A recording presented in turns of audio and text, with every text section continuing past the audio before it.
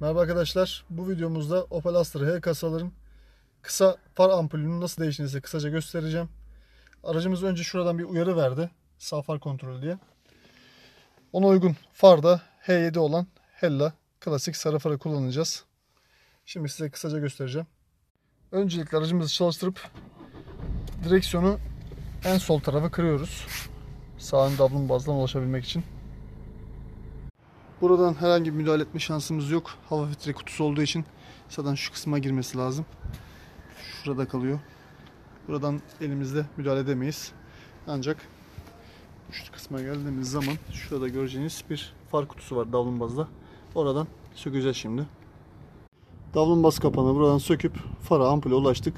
Şurada bir tane parça var. Duyu.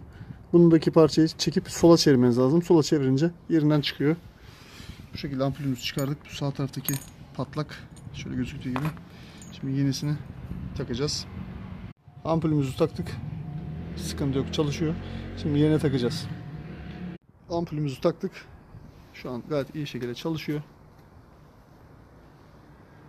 Herhangi bir sorun yok. Bu arada almak isteyenler olursa Hella marka ampullerimiz stoklarda gönderim sağlarız.